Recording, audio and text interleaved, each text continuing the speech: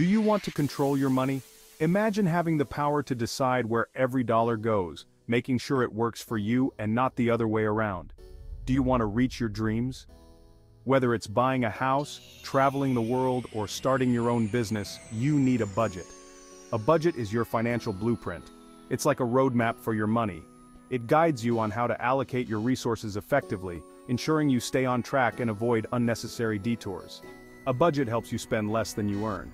By tracking your expenses and setting limits, you can avoid debt and build a solid financial foundation. It helps you save for big goals. Whether it's an emergency fund, a dream vacation, or retirement, budgeting ensures you set aside money for what truly matters. It gives you peace of mind about money. Knowing exactly where your money is going reduces stress and helps you feel more in control. Ready to take charge? Let's get started on this journey to financial freedom and security. Before we continue, please like, subscribe and turn on notifications to receive all the episodes in this Money Mindset series. Now let's dive deep into budgeting. Number 1. What is the full definition of a budget? A budget is a plan for your money. It's a detailed outline that helps you manage your finances effectively. By creating a budget, you can allocate your income towards various expenses, savings, and investments. It tracks your income and expenses. This means you keep a record of all the money you earn and all the money you spend. Tracking these details helps you stay on top of your financial situation. To make budget, you need to know some terms. What is your income? Income is the money you earn. This can come from various sources such as your job, business, or investments. Knowing your total income is the first step in creating a budget. What are expenses? Expenses are what you spend. These include everything from your daily coffee to your monthly rent. Keeping track of your expenses helps you understand your spending habits. There are fixed expenses and variable expenses. Fixed expenses are those that remain constant every month, while variable expenses can fluctuate. Fixed expenses stay the same each month, like rent. Other examples include mortgage payments, car loans, and insurance premiums. Variable expenses change like groceries. These can also include utility bills, entertainment, and dining out. It's important to monitor these as they can vary significantly. A budget helps you understand where your money goes. By analyzing your expenses, you can identify areas where you might be overspending and make adjustments. It helps you make smart choices about spending. With a clear budget, you can prioritize your financial goals, avoid unnecessary debt, and ensure you're saving for the future. Number 2. How to make a budget. First, write down all your sources of income. This includes your salary, any freelance work, rental income, and even small side gigs. Make sure to be thorough and list every possible source no matter how small it may seem. This will give you a clear picture of your total income. Next, list all your expenses. Start with the fixed ones like rent or mortgage, utilities, and insurance. Then move on to variable expenses such as groceries, entertainment, and dining out. Don't forget to include occasional expenses like car maintenance or medical bills.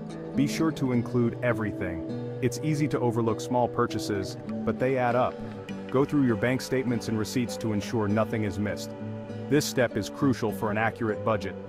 Now subtract your total expenses from your total income.